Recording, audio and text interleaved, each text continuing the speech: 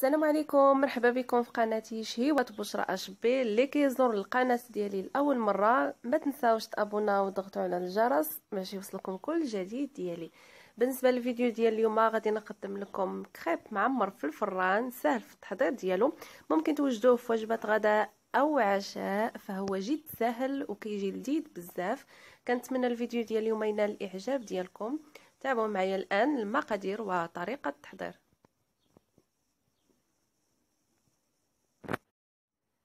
بالنسبة للمقادير عندنا هنايا فرماج محكوك.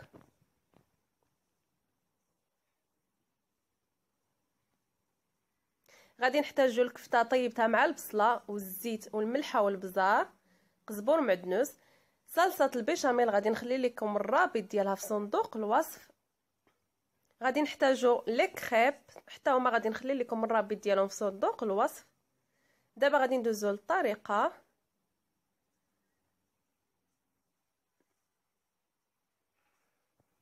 أول حاجة كناخذ واحد المول كندهنوه بالزيت.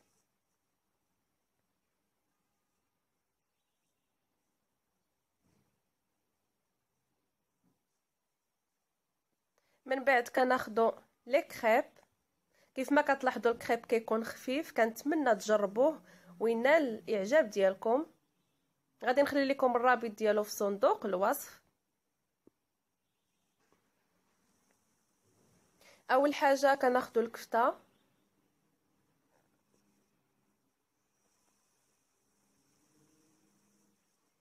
من بعد كنديروا صلصة البيشاميل حتى هي غادي تلقاو الرابط ديالها في صندوق الوصف.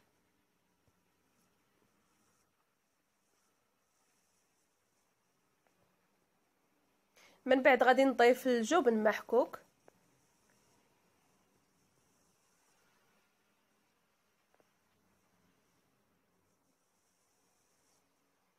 غادي نلف لي كريب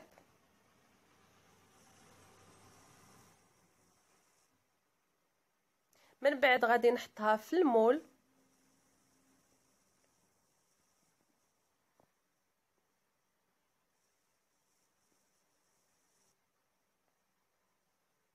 غادي نبقى نعمر لي كريب وغادي نبقى كندور في المول.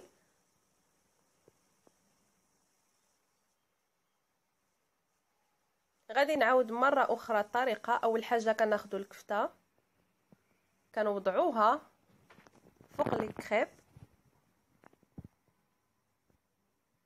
من بعد غادي نضيف صلصة البيشاميل.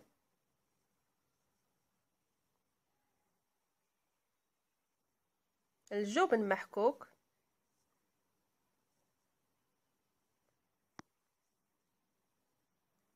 غادي نلف الكريب وغادي نبقى كنستف في المول حتى نكمل الكمية اللي عندي ديال لي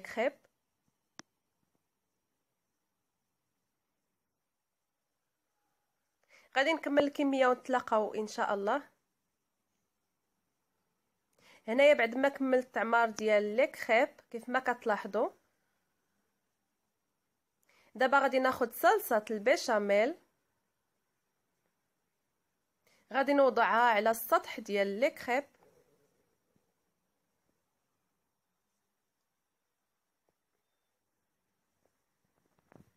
في هذه الأثناء أنا غادي نكون مسخنة الفران على درجة حرارة 250 غادي ندخلو لي كريب ديالنا مدة خمس دقائق فقط حتى كيذوب لينا الجبن.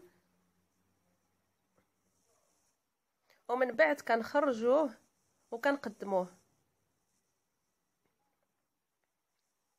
أنا هنايا بعد ما ساليت. صلصة البيشاميل غادي نضيف الجبن محكوك من الفوق. صافي وغادي ندخل لي كريب يتحمروا ويذوب الجبن ديالنا ونتلاقاو.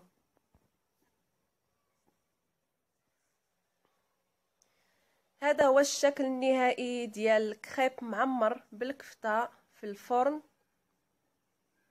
كيجي لذيذ بزاف. كنتمنى الفيديو ديال اليوم ينال الإعجاب ديالكم.